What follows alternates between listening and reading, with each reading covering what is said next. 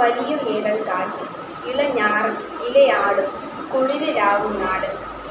എന്റെ കേരളം എത്ര സുന്ദരം എന്ന പരസ്യവാചകം ഓർക്കുമ്പോൾ തന്നെ പുഴകളും വനങ്ങളും അരുവികളും നമ്മുടെ മനസ്സിൽ ഓടിയെത്താറുണ്ട്.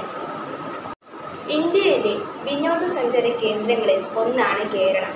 കേരളം പ്രകൃതി സൗന്ദര്യം കനിഞ്ഞനുഗ്രഹിച്ച ഭൂമിയിലെ സ്വർഗമാണ് ടൂറിസം മേഖലയ്ക്ക് പ്രാധാന്യം കൽപ്പിക്കുന്ന ദൈവത്തിന്റെ സ്വന്തം നാടാണ് കേരളം. നാഷണൽ ജിയോഗ്രഫിക് ട്രാവലർ മാഗസിന്റെ ലോകത്തിൽ സന്ദർശിക്കേണ്ട അമ്പത് സ്ഥലങ്ങളുടെ പട്ടികയിൽ ഇടം പിടിച്ചിട്ടുണ്ട്. കോവളം.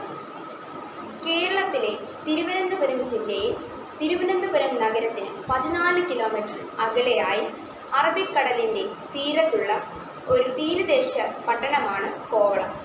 കോവിൽക്കുളം എന്നായിരുന്നു കോവളത്തിന്റെ ആദ്യകാലത്തെ പേര്.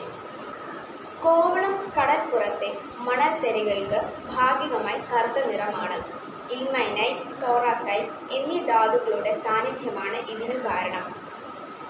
കോവളത്ത് ഒരു ഉയരമുള്ള തിട്ട കൊണ്ട് വേർതിരിച്ച രണ്ട് തീരങ്ങളുണ്ട്. ഹവ ബീച്ചിൽ ഒരു ചെറിയ ലൈറ്റ് ഹൗസ് ഉണ്ട്. കോവളം സന്ദർശിക്കേണ്ട ഏറ്റവും നല്ല സമയം നവംബർ മുതൽ മാർച്ച് വരെയുള്ള മാസങ്ങളാണ്. പൂവാർ ദക്ഷിണേന്ത്യൻ സംസ്ഥാനമായ തിരുവനന്തപുരം ജില്ലയിലെ പ്രശസ്തമായ വിനോദസഞ്ചാര കേന്ദ്രമാണ് പൂവാർ കേരളത്തിന്റെ കിഴക്കേ അറ്റത്താണ് പൂവാർ ഗ്രാമം. അതിന്റെ അടുത്തുള്ള പൊഴിയൂർ ഗ്രാമം കേരളത്തിന്റെ അവസാനമാണ്. വിനോദസഞ്ചാരികളെ ആകർഷിക്കുന്ന അതിമനോഹരമായ ബീച്ച് ഈ ഗ്രാമത്തുണ്ട് വർക്കല തിരുവനന്തപുരം ജില്ലയിലെ ഒരു നഗരസഭയും താലൂക്ക് ആസ്ഥാനവുമാണ് വർക്കല. തിരുവനന്തപുരം നഗരത്തിൽ നിന്ന് നാൽപ്പത് കിലോമീറ്റർ തുറമുഖ നഗരമായ കൊല്ലത്തു നിന്നും ഇരുപത്തിയാറ് കിലോമീറ്റർ മാറി തിരുവനന്തപുരം കൊല്ലം തീരദേശ ഹൈവേയിലാണ് വർക്കല സ്ഥിതി ചെയ്യുന്നത്. ഇന്ത്യയിലെ പ്രധാന ആരാധനാലയമായ രണ്ടായിരത്തി അഞ്ഞൂറ് വർഷം പഴക്കമുള്ള ജനാർദ്ദന സ്വാമി ക്ഷേത്രത്തിന് വർക്കല പ്രശസ്തമാണ്.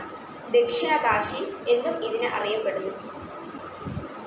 സാമൂഹ്യ പരിഷ്കർത്താവായ ശ്രീ നാരായണ ഗുരു സ്ഥാപിച്ച ശിവഗിരി മണ്ഡമാണ് വർക്കലയിലെ മറ്റൊരു പ്രധാന നാഴികക്കല്ല് കേരളത്തിൽ പ്രശസ്തമായ സ്മാരകങ്ങളിലൊന്നാണ് ശ്രീനാരായണ ഗുരുവിന്റെ കുന്നിൻ മുകളിലുള്ള ശവകുടീരം. വാഗമൺ.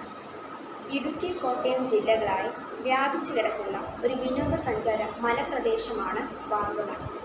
കോട്ടയം ഇടുക്കി ജില്ലകളുടെ അതിർത്തിയിൽ നിന്നും ഈരാറ്റുപേട്ടയിൽ ഇരുപത്തിയഞ്ച് കിലോമീറ്റർ കിഴക്കായി സ്ഥിതി ചെയ്യുന്ന വാഗമണ്ണിന്റെ പ്രകൃതി സൗന്ദര്യം അതിപ്രശസ്തമാണ് ശ്രീ പത്മനാഭസ്വാമി ക്ഷേത്രം. കേരള സംസ്ഥാനത്തിന്റെ തലസ്ഥാനമായ തിരുവനന്തപുരം നഗരത്തിലെ ചരിത്രപ്രസിദ്ധമായ മഹാവിഷ്ണു ക്ഷേത്രമാണ് തിരുവനന്തപുരത്തിലെ ശ്രീ പത്മനാഭസ്വാമി ക്ഷേത്രം. അനന്തർ എന്ന നാഗത്തിന്റെ പുറത്ത് ശയിക്കുന്ന മഹാവിഷ്ണുവാണ് ഇവിടുത്തെ പ്രധാന പ്രതിഷ്ഠ. ക്ഷേത്രത്തിന് ചുറ്റുമുള്ള കോട്ടമതിലിന്റെ കിഴക്കേ കോട്ടയുടെ വാതിലിന് അഭിമുഖമായാണ് ക്ഷേത്രത്തിന്റെ പ്രധാന ഗോപുരം സ്ഥിതി ചെയ്യുന്നത്. തമിഴ് ശൈലിയിൽ നിർമ്മിച്ച ഈ ക്ഷേത്രം തിരുവനന്തപുരം ജില്ലയിലെ മുഖമുദ്രകളിൽ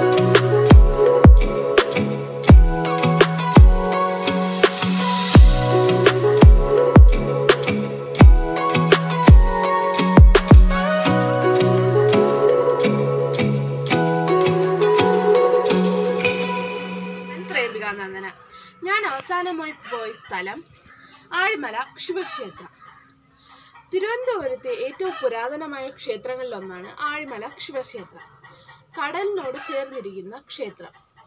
വിഴിഞ്ഞൻ മുതൽ കന്യാകുമാരി വരെ കടൽ നീണ്ടു കിടക്കുന്നു അൻപത്തൊന്ന് ഫീറ്റ് അൻപത്തൊന്ന് അടി നീളമുള്ള ശിവൻ ശിവന്റെ പ്രതിമ അവിടെയാണ് സ്ഥിതി ചെയ്യുന്നത്. ഞാനും അനിയനും അച്ഛനുമാണ് അവിടെ പോയത്. അപ്പോൾ ഞാൻ നല്ല ആകാംക്ഷയോടെയാണ് കയറിയത് ഞാൻ ആദ്യം തൊഴുതു. എന്നിട്ട് ശിവ ശിവന്റെ പ്രതിമ കാണാനായിരുന്നു എനിക്ക് കൂടുതൽ ആകാംക്ഷ. ഞാൻ കണ്ടു കുറേ ഫോട്ടോസ് എടുക്കുകയും ചെയ്തു.